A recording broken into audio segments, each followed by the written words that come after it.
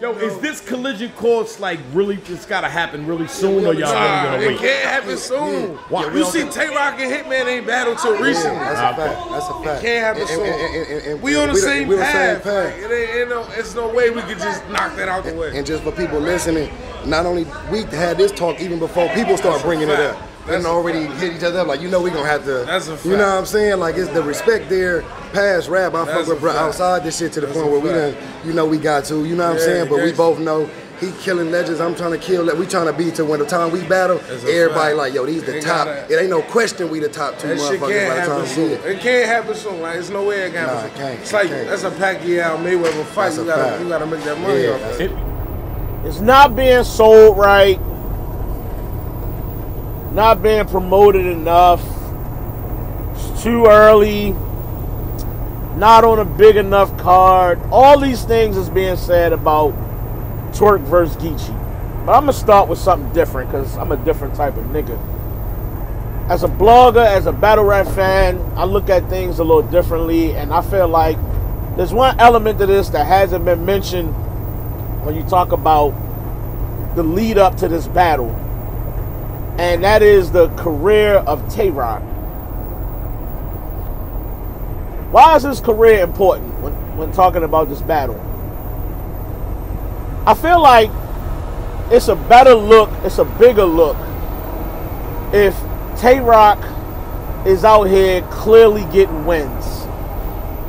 And let's be honest, when you face a certain level of competition, it is very difficult in, in the URL or any platform to get wins over certain names. They're just that good. And the reality of it is, overall, for the most part, the quote unquote downfall or the decline of Tay Roc over the past couple of years is most notably the problem in my eyes. Now, me, I'm a real Baltimore nigga from start to finish. I'm gonna be that way till I fucking die. I do not turn on my team. I'm a real nigga. I don't have no, oh, my other team. I don't have no other team. It's the Orioles, it's the Ravens, and then it ain't shit else. Fuck out of here with everything else. Fuck your team. I'm that kind of fan. And being is that Tay Roc is from my town, or at least close to, or however you want to look at it, I rock with Tay Roc heavy. But I will admit when he lose. I will tell you when he win, in my opinion. I'm, I'm pretty right down the middle. But man, dog. These past couple years for Tay Roc, controversy wise, they've been a struggle to get through, bro. Don't forget, we we talking about Twork and Geechi here. Just follow me for a second. The decline of Tay Roc has just been ah, you you literally got to coach yourself through whatever the fuck Tay Roc is going through at the moment. It's like it's like it's like if you see a homeless motherfucker on the street and he like help me, help me, and you like, oh, not my problem, bum. Gotta go to work. Like you just fucking, you just go right past the bullshit. You know it's bad, but we just gonna walk right by it. You know what I'm saying? This, this, the tranny situation. Uh, fat boy, you don't got nothing to say about that? Uh, um, uh,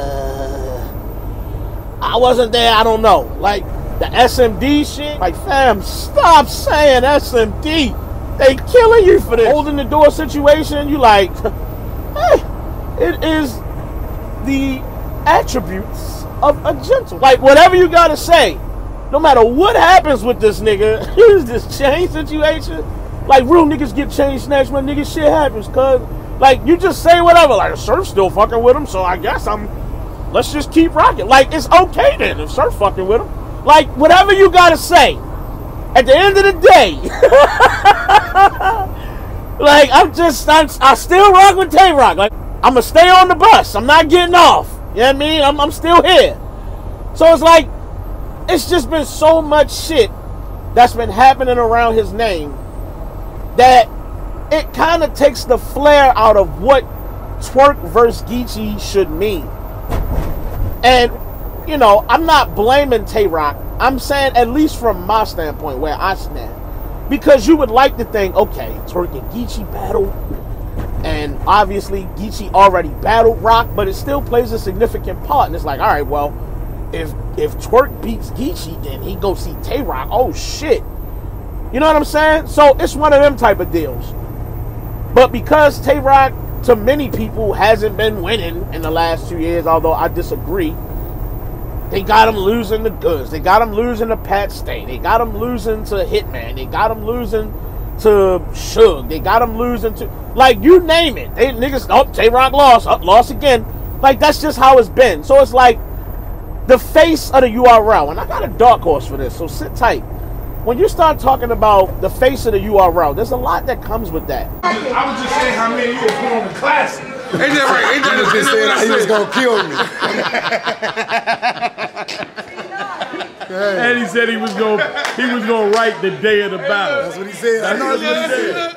Hey, look, I, I ain't knew though. He could, you said you was gonna kill me. My nigga right here. Two careers that started out so very promising, not identical in any way, but very promising for both, have taken two totally different paths. Totally. Let's start with Geechi Gotti. Geechi Gotti started out with, you know, he had a PG. Many people didn't know nothing about the shit, but it happened. And then you had the battle with Saint, you had the battle with Danny Myers, and so on and so forth. And after those couple of battles, I remember myself thinking, well, damn, did, did this nigga do a PG? My, like myself, a lot of people didn't even know he had already did one. You know what I'm saying? But his hype around his name, it just grew like overnight. And it was like, he, she's on this card. You know, around the time when they was doing all the fucking um, Supreme Legacies and shit like that. Like the legend of Geechi Gotti was building. Like it was, the freight train was rolling. The steam was coming out. It was on fire. Like he was smoking. And then you started seeing him on all these cards, like back to back to back. The demand was high. We couldn't get enough of these third rounds, my nigga. He was putting in pain. It was getting it was getting serious out here. When you talked about Geechi Gotti and who he should battle, and we want to see him against the the Calicos and the Verbs and the Hitmans and the the Rum Nitties and the Geechis. I mean the Surfs. The like we wanted these battles badly. And you look at over these past two years, so not to mention he's one champion of the year, potentially another one on the way. You look at the names that he has actually fucking battled, whether it be Roc, Sue Surf, Glue Easy, fucking Rum Nitty, uh, uh, Arsonal, um, Shotgun Suge, just the nigga has surfed. The nigga has stood in front of some fucking names, dog. And a lot of these names this nigga stood in front of, Ill Will, Av.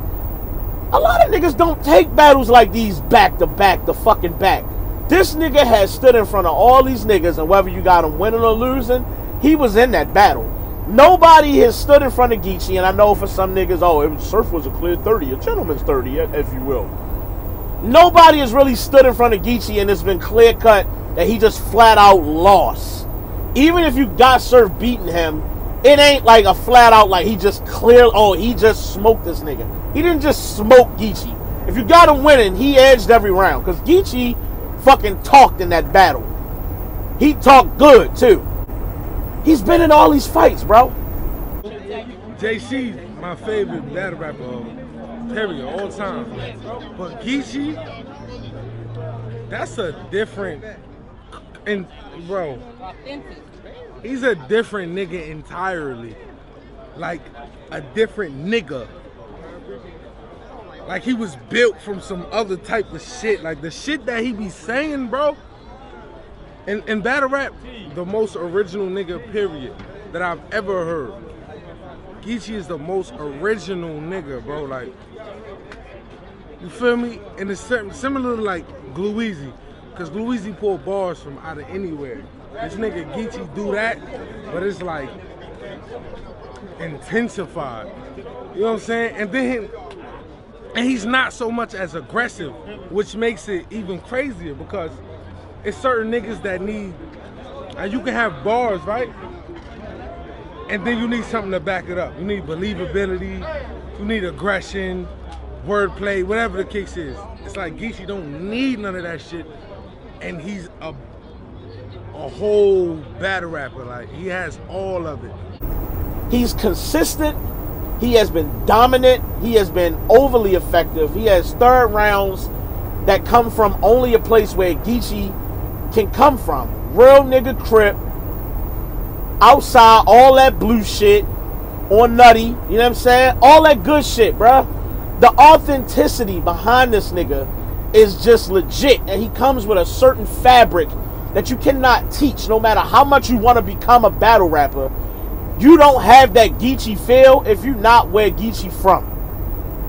And he just is who he is. He a real humble nigga.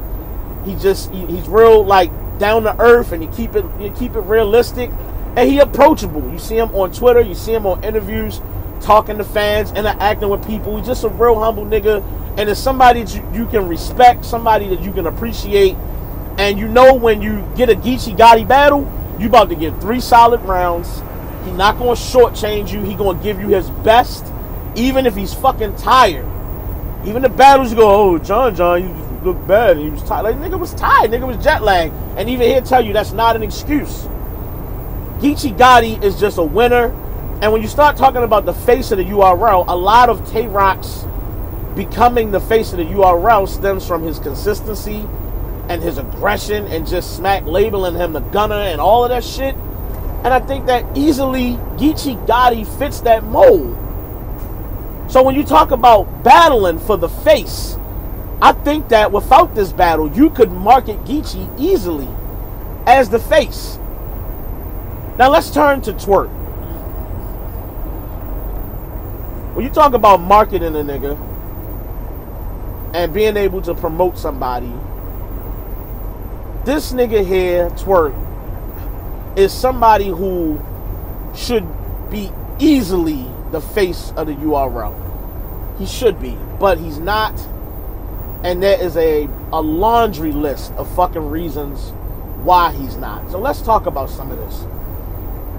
You had the infamous Red battle, and then you had the the Dougie battle, and you had the Glue Easy battle, and you had the the QP battle, and then things just kind of started coming off the tracks. Now you can say it's because of the company he keeps, or just when you a real street nigga and you really outside. When you outside doing dirt, let's just skip, stop going to Twork for a second. When you a real street nigga, you outside doing dirt, whether you selling drugs or you you gun toting or you robbing niggas or you, you doing whatever you doing outside. Know I mean? Kick doors, all that good shit. Bruh. You know at some point jail is probably in your future or death is in your future or just trouble, just hard times. Niggas looking for you.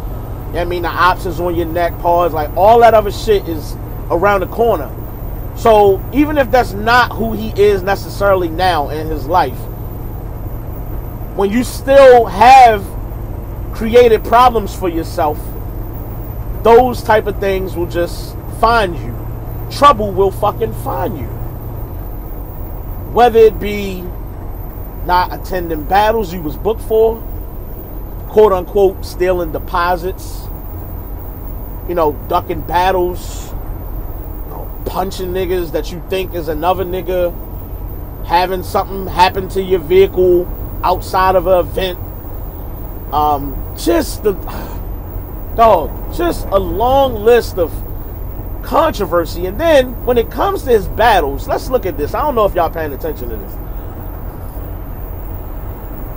With Twork battles, there is always something. Go down the list, and I'm sure I'm gonna miss some, but just off the top of my head, bruh. The DNA battle at Summer Madness. That didn't go well. The Calicoe battle. You gave us two rounds, and then here comes T Top. Oh, fuck it, I'm out of here. You got the John John battle. I'm gonna give you two rounds of greatness, and then here comes Jack Boy. Fuck that up. You got the Aye Verb battle where Nia choked in the first round, and but he still gave you this epic third. Like, just go down the list of Twork battles and look at all the shit that has happened in all his battles uh, for a majority. It's just always something.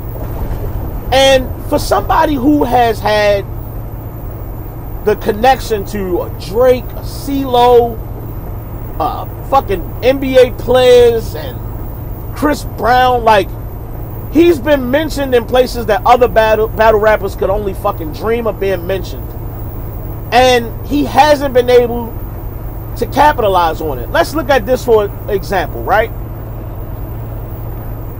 You got BET event, right? Where the, got T Top, DNA, Suge, and Geechi, right? Now, Geechi, because of who he is, as young as he is in this game, was able to be placed in that situation. Now, I don't know what the selection process was, so don't hold me to this. But you don't think URL would love to have put Twork on that stage? In his career, he has not been reliable. In his career, he has not been trustworthy. Somebody you can count on to, to deliver his material. This event was held the day before the lockdown card. Somebody who writes rounds in the parking lot don't even respect his opponent enough to write days in advance. I'm to write these rounds on a parking lot. You don't think he could have came up with some rounds within a day and went up on that BET stage and knocked that shit out? It ain't that he ain't capable of it, but do you trust him to get it done and it looks good on stage without him choking or doing some shit that's going to go, ah, that didn't look good? You want trusted names that you know will deliver. Now, I know you can make the argument that time to time Suge has that issue, but that's besides the point. The point I'm trying to make is you know that Twork, his intensity, that level of energy, his his his, his lyricism, all that. You don't think URL wants to brand that whole element of Twork and market it as their face. They would love to. But you can't rely on the nigga. I'm not saying this to belittle him. I'm talking about the direction of his career. And when you start talking about the face of the URL, and this battle is being marketed as who's going to be the new face of the new generation, the new URL, and all that shit. How is this a battle for that? How? Now, I'm not saying that even if Twork wins, that is not down the line for him to still become the face of the URL. But with Tay Roc's career going the way that it has gone as of the last couple years, and with Twork's career going the direction that it has gone, I think, in my opinion, I think Geechi Gotti right now is just the face. To a degree, to an extent, at least for the new era. You know what I'm saying? But let's look at it like this. In this battle, you got so many different angles on both sides. Geechi can talk about Twork's career and the stuff he's gone through in this battle rap culture, his time here. And Twork can talk about I don't know how coffee became an angle on Geechi. Somehow it just has, and niggas really use it in their rounds and score points off of it. And to some, you know, they ain't scoring no points, but to many, yeah, niggas are scoring points. Saying shit versus Geechi about Coffee Brown. You know what I'm saying? Shout out to Coffee. Um, there's just a lot of things they can go back and forth with. Obviously, one is a blood, one is a crip. That element is there. And the one thing, I didn't forget a particular name about the battles that uh, Twork has had. I'm going to that right now. Um, the one thing that stands out to me is that more than anything, I think Twork realizes that this battle is super significant. And I'm not saying that Geechi doesn't realize it.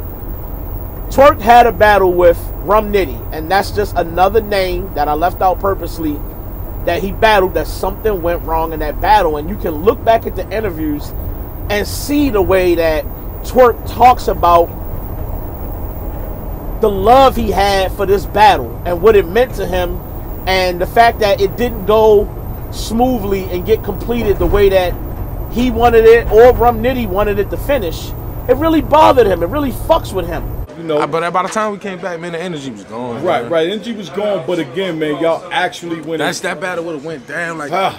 best battle in the fucking world, my nigga. That battle would have went down that in was history. potentially the best battle of the year, at least, you know, and, and uh, a fucking classic I'm mad as shit to be about rec- that. and knowing that uh, to a lot of people and definitely to him as you can tell if you're paying attention he realizes what this battle fucking means and the significance behind it and i'm sure that he wants nothing more than to beat the shit out of Gotti and he believes it he's confident in the fact that he's going to beat Geechi he has said it time and time again and even under the caption of one of his latest posts on IG he said let's settle this once and for all he knows what's on the line here.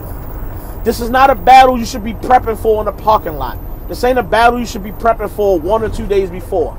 I hate the fact that Twork really has all these battles lined up, damn near every weekend leading up to this fucking battle.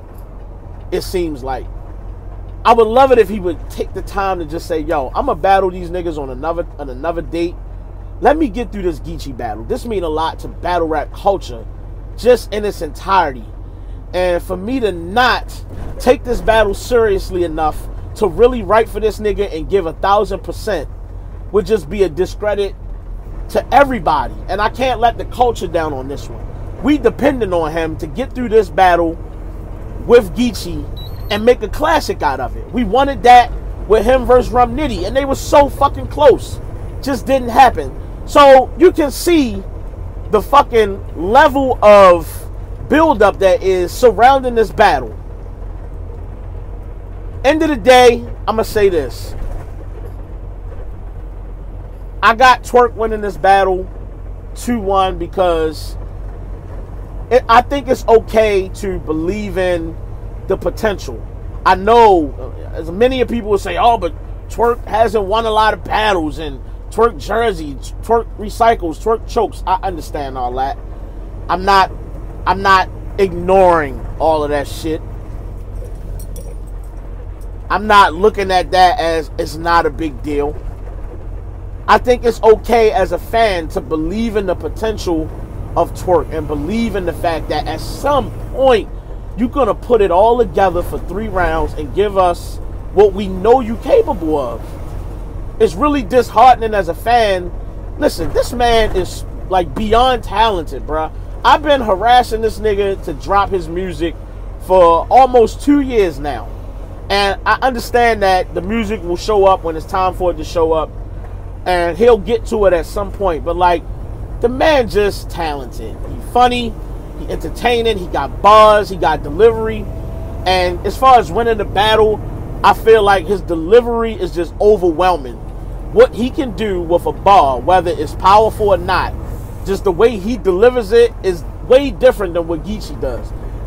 Geechi shit is more like it's a punch in the gut if the bar is said the right way and you feel it with the conviction that Geechi delivers. But with Twork, just the delivery all in itself is enough sometimes. And that's the difference in the two. And I think that lyrically, Twork is just capable of doing so much more with his bars than what Geechi is doing. Geechi is not heavy on the angles. He had that approach with Tay Roc, and it was very effective in that battle. And I'm hoping that he takes that same approach with Twork, that he able to make some angles work and give us something different than just punches. But I got Twork winning 2-1. I hate to go against the Loke. I've been in my heart a nutty block crip for the longest now. Honorary member of the Crips. You heard? so at the end of the day, there's one person I want to name. And I would be remiss if I didn't mention this person before this shit closed out. And this person battled both of these niggas already. And his rise and fall and rise again should be mentioned. We talking about the face of the URL. Chess Chess ability to turn his career around is nothing short of just fire, bruh. It's just been fucking fire. And I want you to pay attention to the fact that slowly but surely, the names are beginning to filter in. Whether it be John John, that he about to battle now, recently battled O-Red, battled Arse, battled Tay Roc already. The names are filtering in now.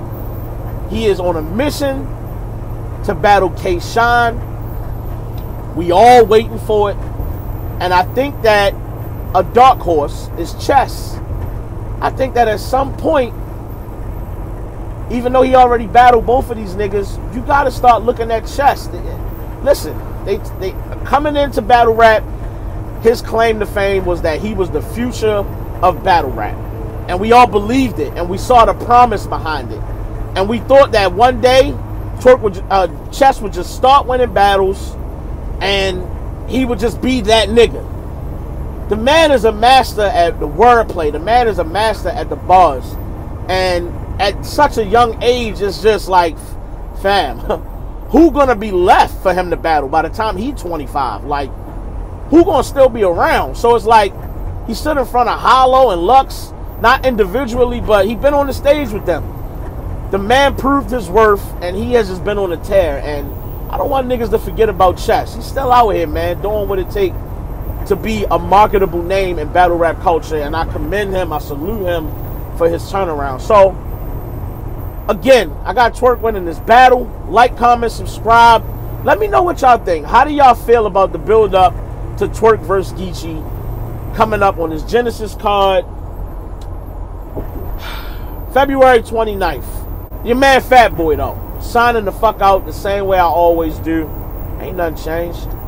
I respect the culture and I advise you niggas to do the same. Hey yo, Posey! My motherfucking low. Take us home, cuz. Please don't unplug the game.